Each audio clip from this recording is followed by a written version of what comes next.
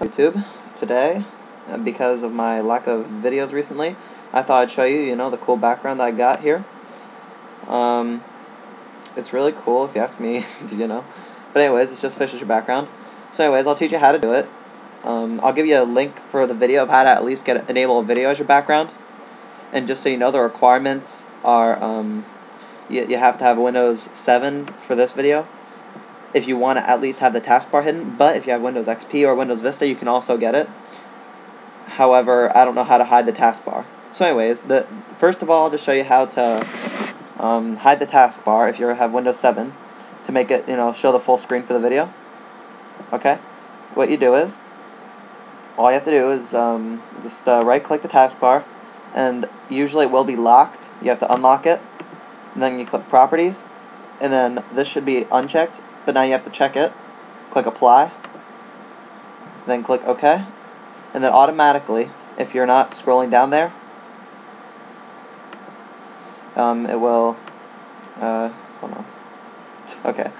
It will, uh, it will come up. So anyways, yeah, and, uh, you know, so anyways, once you get that done, uh, make sure you lock it now, once you're done. Yeah, all you need to do is just download a video from YouTube, or anywhere really, and make sure it's in the format of MP4, or no, not MP4, I'm sorry, uh, WMV, or M MPEG, I think.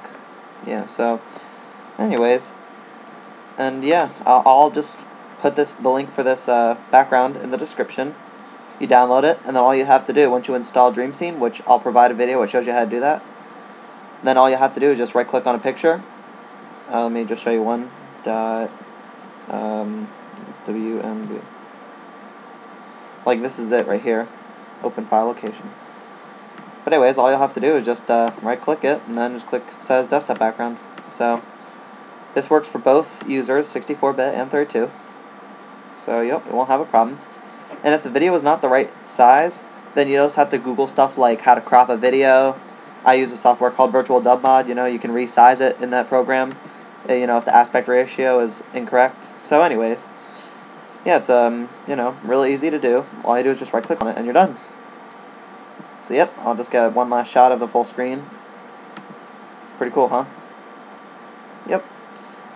So anyways, I ripped this from YouTube, you know, not really legal, but hey, it's fine. Anyways, thanks for watching, YouTube. That's it.